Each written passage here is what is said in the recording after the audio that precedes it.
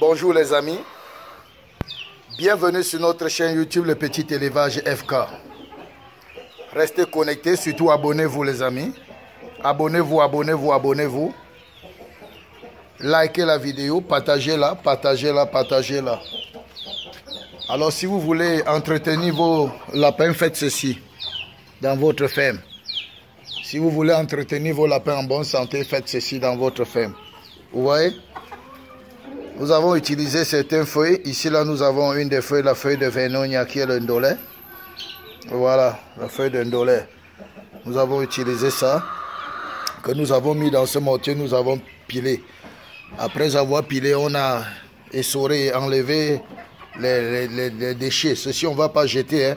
Après, on va prendre ceci, on va sécher ça. Quand ça sera sec, on va ajouter ça dans l'aliment des lapins et ils vont manger.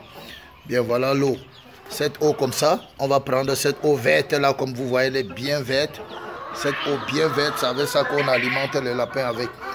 On alimente les lapins, on alimente les cailles, on alimente les canards, on alimente les poulets. Donc nous faisons ça comme ça, nous triturons ça en quantité. Et on distribue ça à nos animaux pendant trois jours.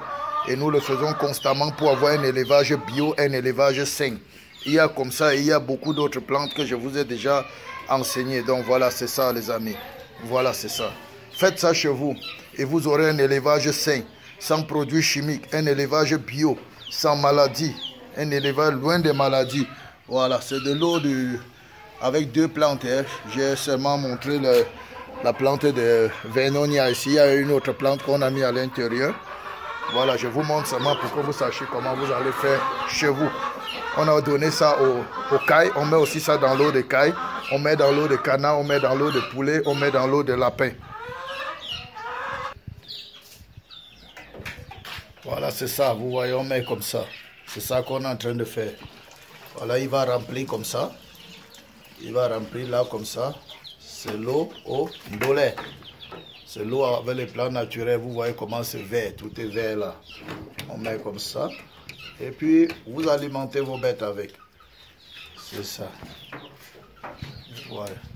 Faites ça chez vous, faites ça chez vous, faites ça dans votre élevage. Ça vous fera énormément du bien.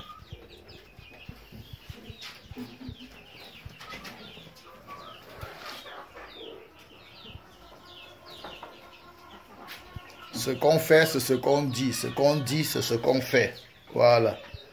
On ne dit pas ce qu'on ne fait pas et on fait ce qu'on dit. C'est ça.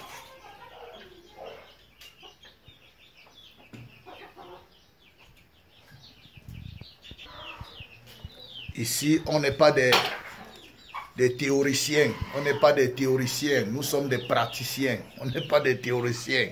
Voilà. Nous sommes des praticiens. On ne fait pas que la théorie, on fait la pratique.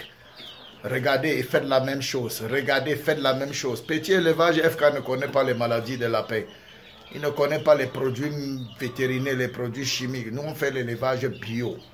Voilà, vous allez me dire qu'il faut combien de quantités? S'il y a beaucoup, oui, s'il y a, vous avez beaucoup. Vous avez 1000, 2000, vous pouvez utiliser les produits euh, vétérinaires. Mais moi, la forêt m'entoure. Je ne sais pas pourquoi je vais aller chercher tout ça. Voilà, regardez. La forêt m'entoure. La forêt m'entoure.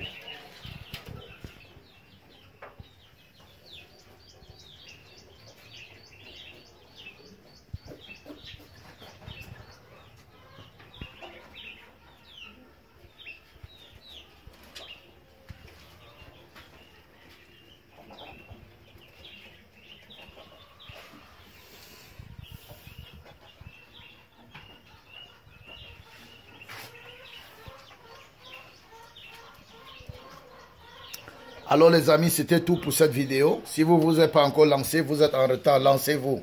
Lancez-vous, lancez-vous, lancez-vous.